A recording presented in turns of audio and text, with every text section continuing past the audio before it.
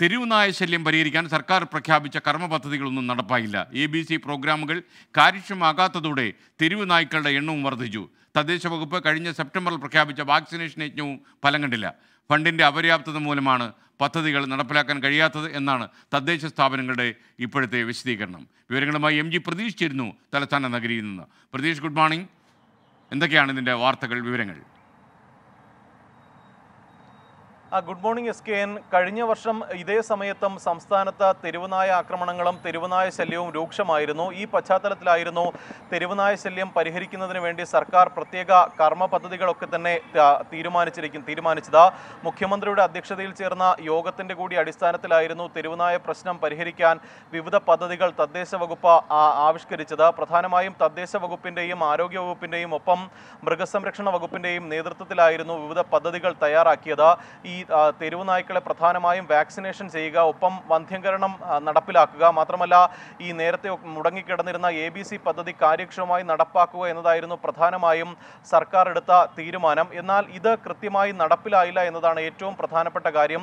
വിവിധ തദ്ദേശ വകുപ്പ് പ്രതിനിധികളുമായി തദ്ദേശ വകുപ്പ് മന്ത്രി യോഗം ചേരുകയും കാര്യക്ഷമമായി തെരുവുനായ പ്രശ്നം പരിഹരിക്കുന്നതിന് വേണ്ടിയിട്ടുള്ള നടപടികൾ ചെയ്യണമെന്നതടക്കമുള്ള നിർദ്ദേശങ്ങൾ നൽകിയിരുന്നു. എന്നാൽ മിക്ക ഭൂരിഭാഗം തദ്ദേശ സ്ഥാപനങ്ങളും ഇത് നടപ്പിലാക്കിയില്ല എന്നതാണ് ഏറ്റവും പ്രധാനപ്പെട്ട കാര്യം. അതിന്റെ ഒരു പരിണിത ഫലമെന്ന രീതിയിലാണ് സംസ്ഥാനത്ത് ഇപ്പോഴും തെരുവുനായ ആക്രമണം രൂക്ഷമായത്.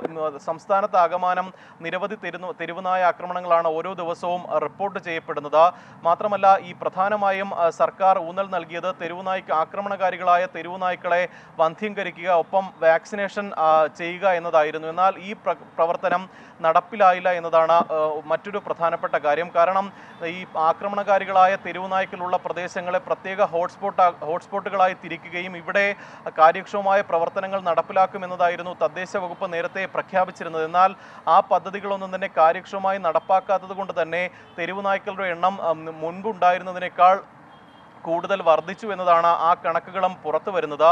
മാത്രമല്ല കഴിഞ്ഞ വർഷം സെപ്റ്റംബർ ഇരുപത് മുതൽ ഈ തെരുവുനായ പ്രശ്നം പരിഹരിക്കുന്നതിന് വേണ്ടി പ്രത്യേക വാക്സിനേഷൻ യജ്ഞവും തദ്ദേശ വകുപ്പ് ആവിഷ്കരിച്ചിരുന്നു. എന്നാൽ ഇതും പൂർണതോതിൽ ഫലപ്രാപ്തിയിലെത്തിയില്ല. അതുകൊണ്ട് തന്നെ തെരുവുനായ ആക്രമണം സംസ്ഥാനത്ത് വീണ്ടും വർദ്ധിച്ചു വരികയാണ്. മൃഗസംരക്ഷണ വകുപ്പിന്റെ നേതൃത്വത്തിൽ വാക്സിനുകൾ ഇറക്കുമതി ചെയ്യുകയും ഇത് തെരുവുനായ്ക്കൾക്കും ഒപ്പം വീട്ടിലെ വളർ വളർത്തുനായ്ക്കൾക്ക് അടക്കം നൽകുമെന്നും മന്ത്രി അടക്കം പറഞ്ഞിരുന്നു. എന്നാൽ ഇക്കാര്യങ്ങളൊന്നും തന്നെ കൃത്യമായി നടപ്പിലാക്കാൻ വകുപ്പുകളുടെ ഭാഗത്ത് നിന്ന് ഒരു നടപടിയും ഉണ്ടായില്ല എന്നതാണ് ഏറ്റവും പ്രധാനപ്പെട്ട കാര്യം. അതുകൊണ്ട് തന്നെ സംസ്ഥാനത്ത് തെരുവുനായ ആക്രമണം വർദ്ധിച്ചു. ആശുപത്രികളിലടക്കം ഈ തെരുവുനായയുടെ കടിയേറ്റ് വരുന്ന കേസുകൾ ദിനംപ്രതി കൂടുന്നുണ്ട്. ആരോഗ്യവകുപ്പ് ഏറ്റവും കൂടുതൽ പണം ചെലവഴിക്കുന്നത് ഈ പ്രതിരോധ വാക്സി പേവിഷബാധയുമായി ബന്ധപ്പെട്ട വാക്സിനേഷനുകൾ വാക്സിൻ പർച്ചേസ് ചെയ്യാനാണ്. അതുകൊണ്ട് തന്നെ ആശുപത്രികളുടെ കണക്കെടുത്താൽ പോലും തെരുവുനായ്ക്കളുടെ കടിയേറ്റ് തെരുവുനായുടെ കടിയേറ്റ് വരുന്നവരുടെ വരുന്നവരുടെ എണ്ണത്തിൽ വലിയ വർധനവ് ഉണ്ടായിട്ടുണ്ട് എന്നതാണ് പ്രധാനമായും മനസ്സിലാക്കുന്നത്. എ ബി സി പദ്ധതികളായിരുന്നു പ്രധാനമായും